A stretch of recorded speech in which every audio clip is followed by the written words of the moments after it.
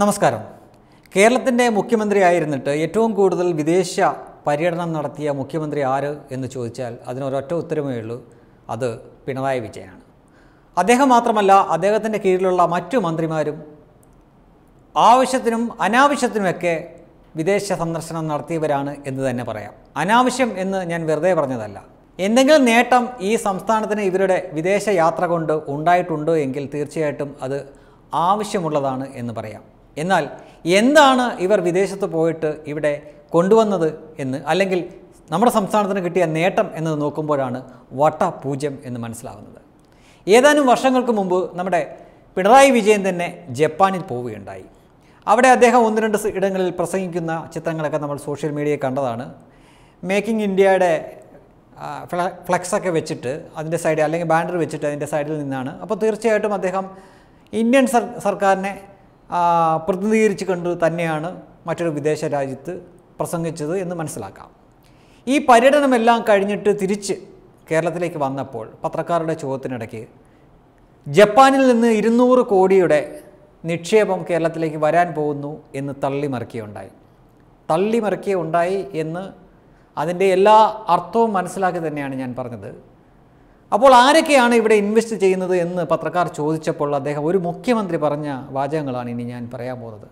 അദ്ദേഹം ഒരു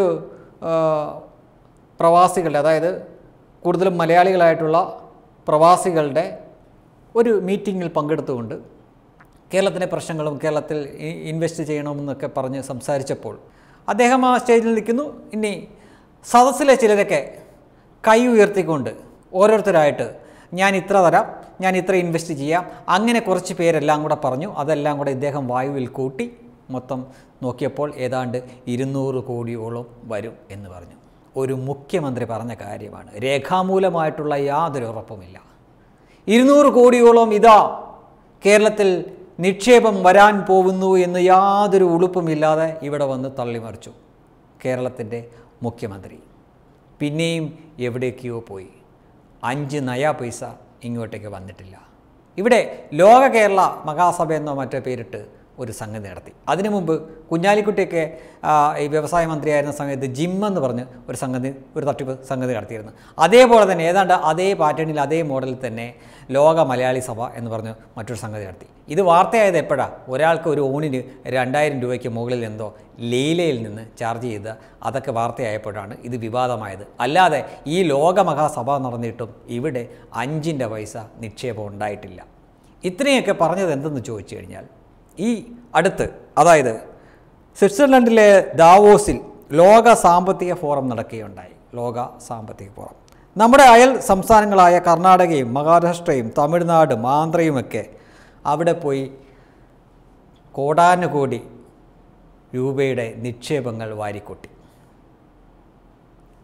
ചില സംസ്ഥാനങ്ങളൊക്കെ അറുപതിനായിരം കോടിയുടെ നിക്ഷേപങ്ങളാണ്. നമ്മുടെ ഈ കൊച്ചു കേരളം പോയില്ല പങ്കെടുത്തില്ല ഒന്നും കിട്ടിയില്ല. പോയില്ല എന്ന കാരണത്തിന് കേരള സംസ്ഥാനത്തിനെ അല്ലെങ്കിൽ കേരളത്തിലെ മുഖ്യമന്ത്രിയെ കുറ്റപ്പെടുത്താൻ ഞങ്ങളില്ല. കാരണം പോയാലൊന്നും കിട്ടില്ല എന്ന് അദ്ദേഹത്തിനും അറിയാം ഇവിടെയുള്ളവർക്കും അറിയാം. ആർക്കെങ്കിലും ഇവ- ഇവിടെ വന്ന് നിക്ഷേപം നടത്തണമെന്ന് താല്പര്യമുണ്ടെങ്കിലല്ലേ ഉള്ളൂ. ഇവിടെ അവർ നിക്ഷേപിക്കൂ. അതിനുള്ള സാഹചര്യമോ അല്ലെങ്കിൽ അതിനുള്ള അന്തരീക്ഷമോ ഈ സംസ്ഥാനത്തില്ലാത്ത കാലത്തോളം ഏത് മനുഷ്യനാണ് ഇവിടെ വന്ന് ഇത്ര രൂപ നിക്ഷേപം ചെയ്യാൻ പോകുന്നത്? ഇവിടെ ഉണ്ടായിരുന്ന നിക്ഷേപകരെ പോലും ഇവിടുന്ന് ആട്ടി ഓടിക്കുകയാണ്. കിറ്റക്സ് ഒക്കെ പോയി കഴിഞ്ഞു.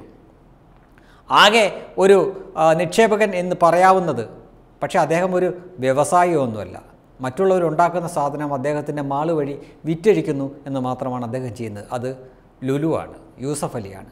മറ്റെടുത്തു പറയാൻ മറ്റ് വമ്പൻ വ്യവസായങ്ങളോ ഫാക്ടറികളോ ഒന്നുമില്ലാത്ത ഒരു സംസ്ഥാനമാണ് നമ്മുടെ കേരളം.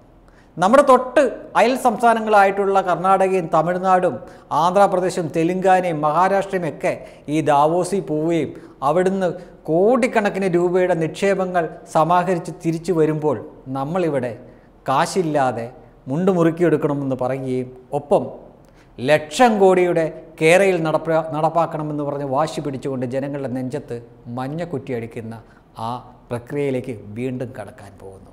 ഇതാണ് നമ്മുടെ കൊച്ചു Kerala. Web desk Tatwamayi news.